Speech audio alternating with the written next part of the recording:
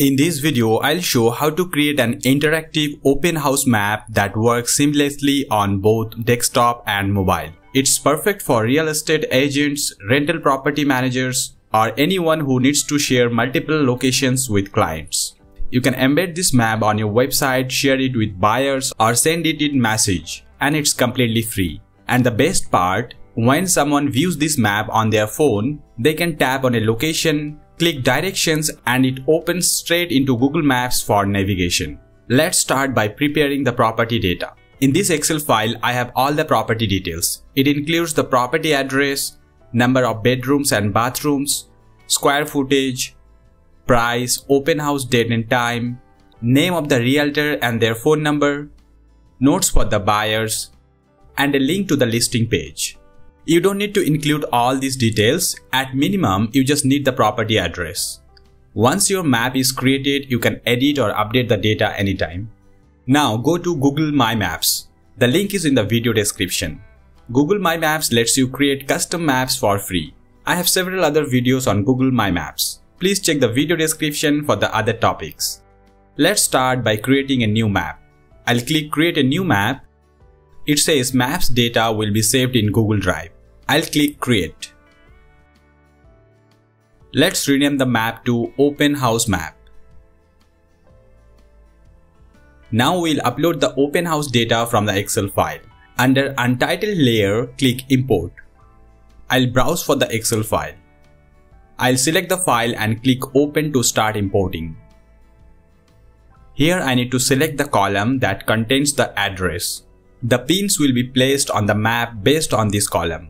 I'll select the address column and click continue. Now I'll select a column to use as the title for the location pins. I'll select the address as the title for the pins and click this finish button.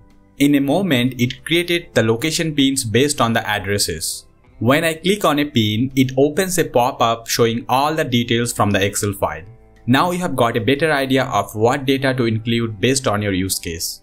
You can change the icons and colors of the location pins. You can change them individually or apply a style to all of them at once. Let's first change the base map style so the map looks cleaner. I'll select this base map option here and I'll go with this view. Now the map looks cleaner. Right now the pin style is set to uniform style so all the pins look the same. To change the pin style, click the style icon under all items. Then select a color and an icon you prefer. Now we can see that all pins have been updated to the new style. If you want to style the pins individually, click on this uniform style and change this to individual styles. Now you can click the style icon next to each address to change its look. I'll change this to green and select this icon. Let's change this. Or you can click directly on any pin and select style and choose the color and an icon. You can also group the pins by sequence numbers.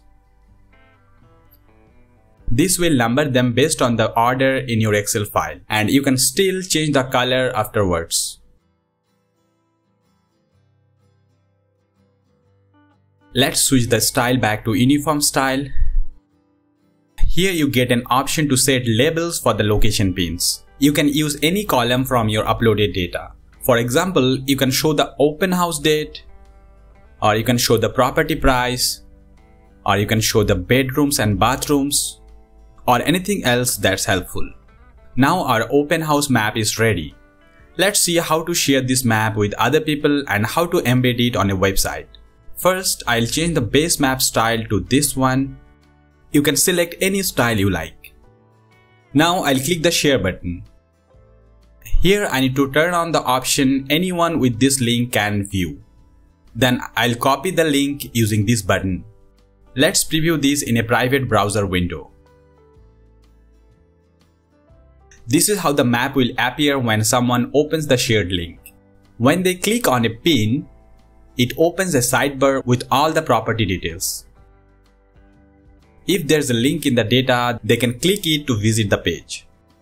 You will see a direction button at the top. Clicking on it opens Google Maps and start navigation from the viewer's current location. The navigation starts when they use it on a phone. If they are on a computer, they can enter their current location to see the route and distance. Now let's embed this custom open house map on a website. Click the three dots menu here, then select embed on my site. It shows an iframe code. We'll paste this into the web page where we want to display the map. I'll disable this option includes owner's profile picture and name. Now I'll copy the embed code.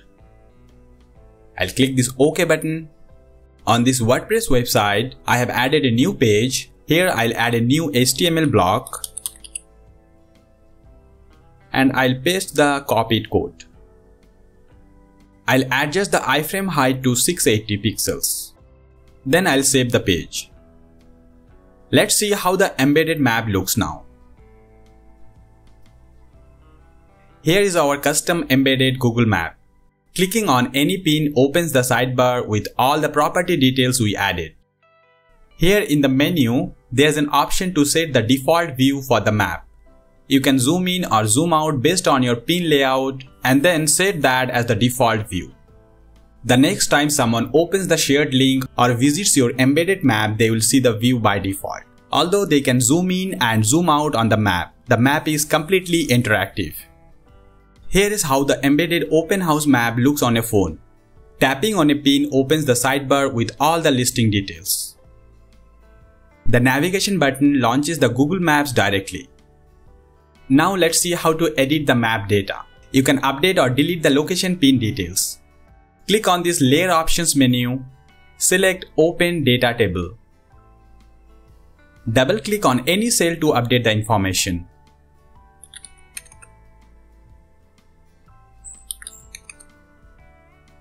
To delete a pin, right-click on the row number and select Delete Row.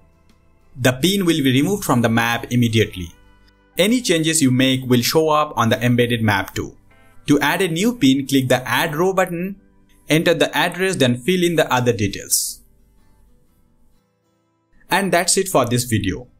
I have got more videos on Google Maps and geocoding that might help with your use case. Please check the video description for the links. Thanks so much for watching.